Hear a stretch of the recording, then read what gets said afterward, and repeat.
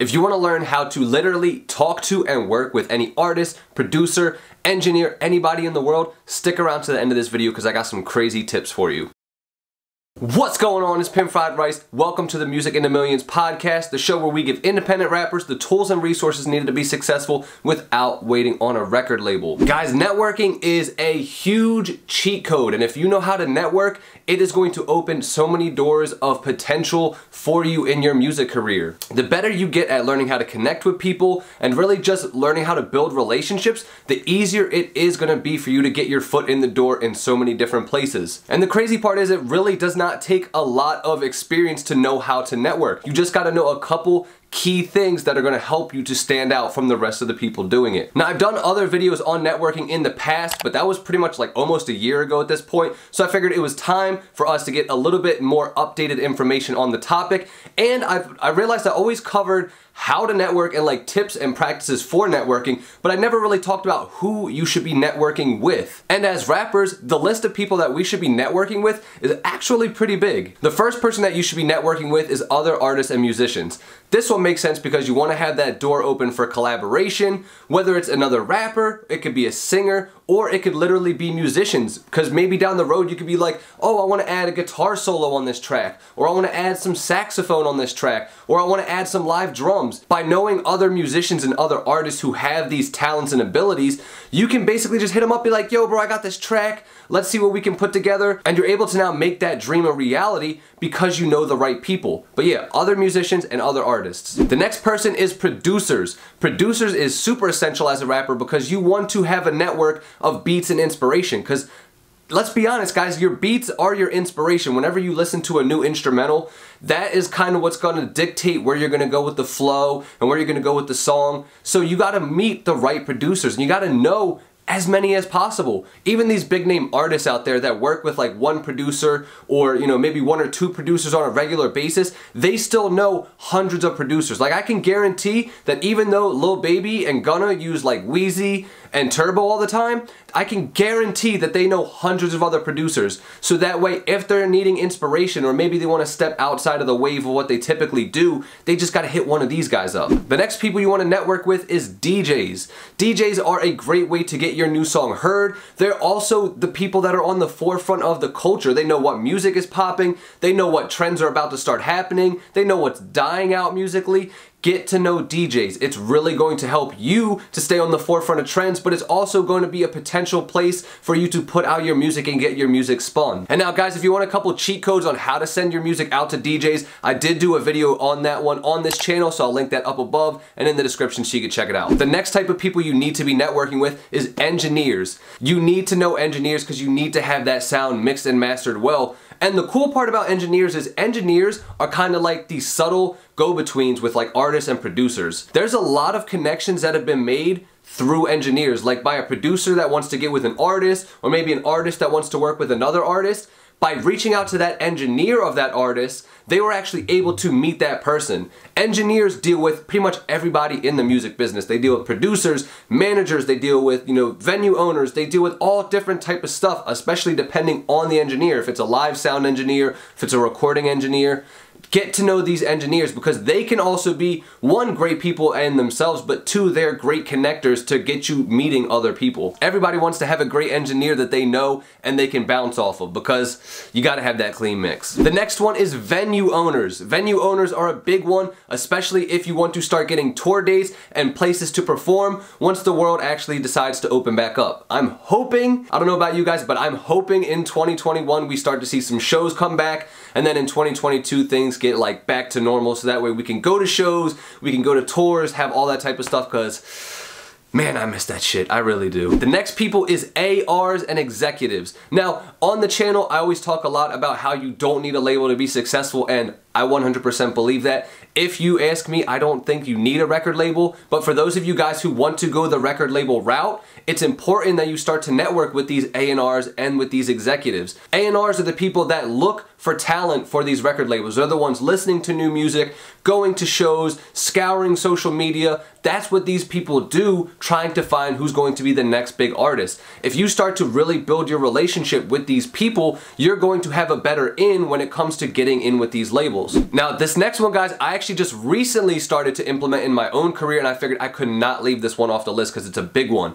And that is bloggers. Bloggers are a great way to get your name out there. Even though people are like, oh man, nobody reads blogs. Yes, they do. People are like, oh man, nobody checks out magazines. Yes, they do. Even though you may not be the type of person that checks it out or you may not be the type of person that reads it, there is hundreds if not thousands, no, I know thousands of people that are reading that kind of stuff. They go online, they love these press write-ups, they love to learn more about their favorite artists. When you start to network with these bloggers, you get a chance of getting written up. They can promote your single, they can promote upcoming projects, they could promote your tour, they could just talk about interesting shit about you. These people need stuff to write about, and so when you lead an interesting life, if you have an in with these people and a great relationship, you could be like, hey man, I had this awesome event that just took place where we, I don't know, how come every time I try and think of an example, my mind just fucking beep, you know what I mean? Like flatline signals in this bitch. But yeah, you can literally reach out to them about any big thing happening, tour, merchandise, project, all that kind of stuff. Bloggers are huge. The next one is influencers. Influencers are kind of something that has been on the rise for the past, I'd say like five, if not a little bit more than five years now at this point. But influencers are your TikTokers, the Instagrammers, and the YouTubers are people that literally just, if they say do something, people do it. These are people like Kylie Jenner, these are people like Charlie D'Amelio, these are people like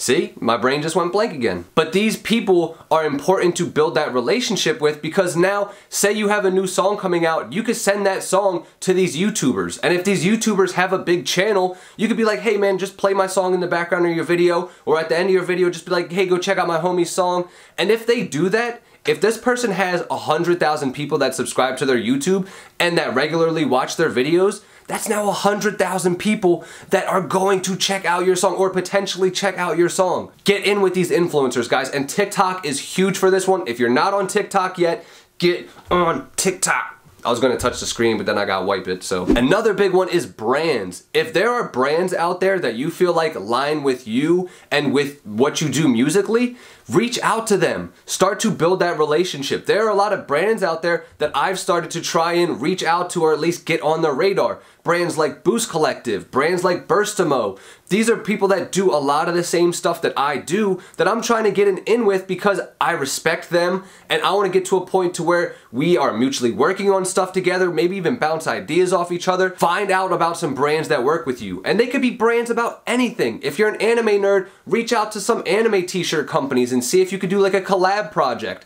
Reach out to skateboard brands if that's something that you're into. If you're a musician, you could talk to guitar brands about sponsoring you if you're like a super crazy guitar player. There's sports brands, there's merch brands, there's music brands, lifestyle brands. Literally there's brands about everything in the world. There's baby powder brands. Like if you're the type of rapper that's like a six month year old, six month year old, six you get what I mean. Reach out to brands, guys. Brands are a huge one. And I feel like brands are really slept on because people think, oh, you can't get a brand deal until you're really popping like that. That's not true. You can get a brand deal at any point. You don't always have to go for Nike and Adidas and these massive brands. You can start down here and start to progress your way up with the brands. The next type of people that you need to be networking with is you need to network with photographers and videographers. These are people that can help you make content, which you guys already know. Content is key. I love content. My middle name should be content. If I could legally change my name to content, I probably would because it's so important for getting your music heard. Videographers are great because they can literally take videos. Like if I had a videographer, I wouldn't have to set all this stuff up myself and do these videos alone in my in my studio. But then videographers can also help with music videos. They can help with little content pieces. They can help with performance videos. They can help with so many different things. And photographers can give you photo shoots. They can help you take pictures when you're at events. They can help you to capture any moment that you want. But get to know these people, get familiar with them, get familiar with that world because you're gonna be involved with it. Music and media is pretty much like interwoven at this point. Like it's kind of hand in hand hand. You can't really have music without the, the visual, and you can't really have the visual without the music. So you're definitely going to want to network with these people. Another one that you need to be networking with is playlist curators. Playlist curators is another big one, especially on like Spotify. That's really the main big one. There are other platforms that allow you to make playlists, but really just anybody that makes a playlist because you want to start to connect with people that are audiophiles. An audiophile, in case you don't know, is someone who loves music, who is obsessed with music. You need to start to network with these people because they're also the type of people that break new artists. There are a lot of people that have blown up just because they get their songs on enough playlists, because they reach out to these playlist curators, because they get those relationships built. Guys, I can't stress that enough. Just getting these relationships with all these types of people will really help you to get to the next level. Guys, drop a comment down below. Who are some people that you think that you should also be networking that I didn't mention in the video already? All right, and now that you got this big old list of people that you need to network with, this is what you need to do. You need to write down the names of all the people or brands or companies that you want to network with so and categorize them. So all the engineers, all the producers, all the record label execs, all the Spotify playlist curators, all the influencers. Break them down into lists, and then what you need to do is you need to prioritize this list from the highest priority to the lowest priority. So the people who you really want to build that relationship with, you need to start doing that today. And guys, I got three simple, quick ways that you can start to do that today. Number one is engage with their content. Whenever they post something, whether it's a video, a regular social media post, a podcast, a blog, doesn't matter, engage with it. Like it, comment on it, share it, show them that you're involved in their world. Number two, message them on occasion. Don't be the annoying person though where you're just like, hey, hey, hey, what's up? Hey, what's up? Like, don't do that shit all the time. It gets really frustrating. Also, don't always ask them for something when you hit them up. But if you're the type of person that's conversational, if you know how to just be, you know, a regular person, respond to the stories that they post, comment on their stuff, just reach out to them be like, yo, bro, I hope you have a great day. Like, if you see something that's relatable to you, maybe they post something like your favorite food, you can hop in their DMs be like, oh, I saw that you love carrot cake. I also love carrot cake. Make it small talk, but build that relationship by messaging them every so often. And the third thing that you can do that's really gonna help you to build that relationship is see where you can help them. Provide value in any way possible. And if you want to learn more ways that you could provide value for someone, hit the link down below. You can get my marketing course and I will personally show you exactly how you can take your marketing to the next level, provide value to these people, and get in the room and work with anybody. Catch you guys next week. Peace.